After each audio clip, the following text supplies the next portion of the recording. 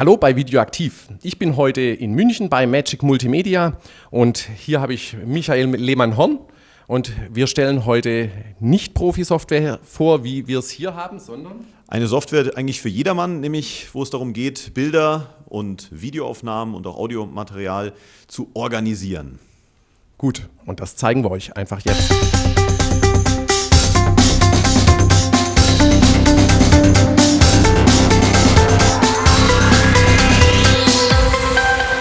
Münk ist eine Software, die gar nicht so teuer ist. Sie wird in etwa was kosten?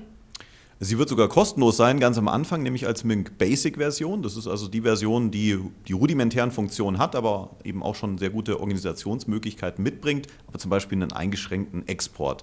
Und dann gibt es eine kostenpflichtige Version, die wird am Anfang 49 Dollar kosten ähm, und ähm, wenn das Einführungsangebot vorbei ist, dann 99 Dollar. Da gibt es aber bestimmt dann auch Europreise, ne? Ähm, die Europreise, äh, die bewegen sich dann irgendwie äh, plus Mehrwertsteuer, ähm, also ich sage mal vielleicht bei 119 Euro äh, dann in, inklusive Mehrwertsteuer.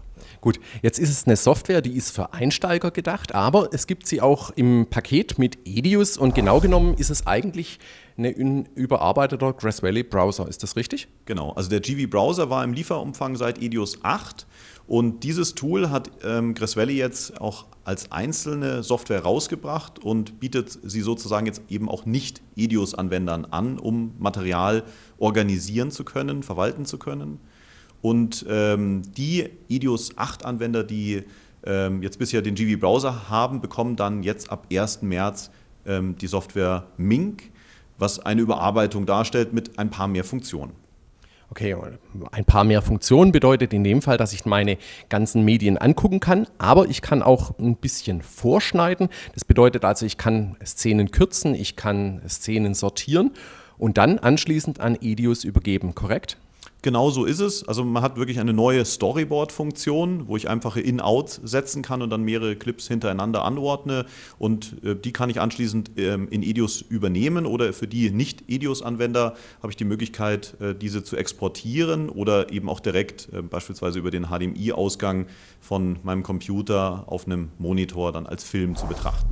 Oder aber man kann es auch direkt in die Cloud laden, beziehungsweise auf Social Media laden. Also das heißt, es wird auch eine Exportfunktion geben auf YouTube, aber das geht nur von einzelnen Clips, wenn ich es richtig verstanden habe. Genau, also alles, was man an Material hat, kann man durch diese Upload-Funktion hochladen zu Facebook und äh, zu YouTube, aber auch zum Beispiel auf einen eigenen FTP-Server, wenn man den nutzen möchte, um sein Material eben äh, ja, in der Cloud zu, zu sichern.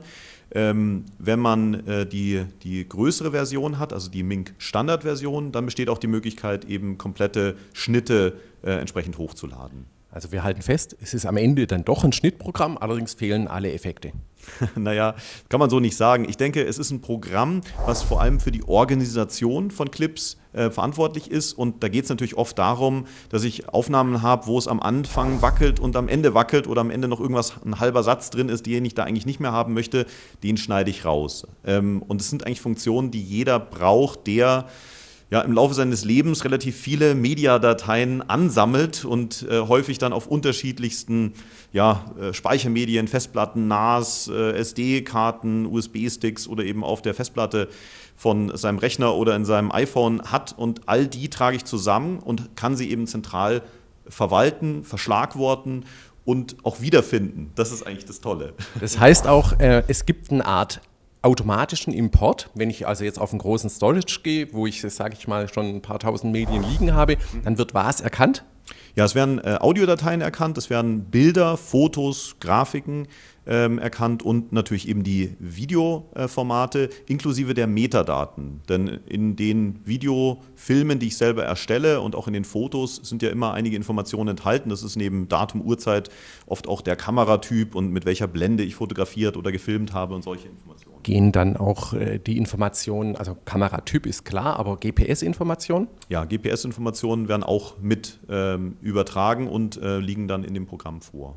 Wunderbar. Und damit haben wir quasi eine Sortierung nach Aufnahmemedium bzw. Kamera. Wir haben eine Sortierung nach äh, dem Ort, wo ich war, eventuell, wenn ich GPS-Daten habe. Ich habe eine Sortierung nach Datum. Es gibt auch so eine Art Kalenderansicht. Genau, es gibt eine Kalenderansicht, äh, wo ich einfach sehe, an welchem Tag habe ich denn überhaupt Medien eingespielt. Und ähm, das ist natürlich eine sehr hilfreiche Geschichte, gerade wenn ich jetzt ein größeres Archiv aufarbeite, dass ich einfach mal schaue, von wann sind denn die Dateien, ähm, dass ich ja, mir leicht tue, bestimmte Ereignisse eben über einen Zeitstempel wiederzufinden. Wunderbar. Ich glaube, es ist ein ganz spannendes Produkt. Wir werden natürlich den Test haben in der nächsten Video aktiv. Und äh, Kollege hier hat schon gespottet. Man darf klicken unten auf YouTube auf ein Like für dieses Video. Du darfst auch noch mal sagen. Ja, ich würde auf jeden Fall auch den Kanal abonnieren. Ich habe ihn abonniert. Also am Ende im Abspann gibt es die Möglichkeit, auf einen Button zu klicken und dann abonniert man den Kanal von Videoaktiv. Er hat auch brav reagiert. In diesem Sinn, bis zum nächsten Mal. Tschüss.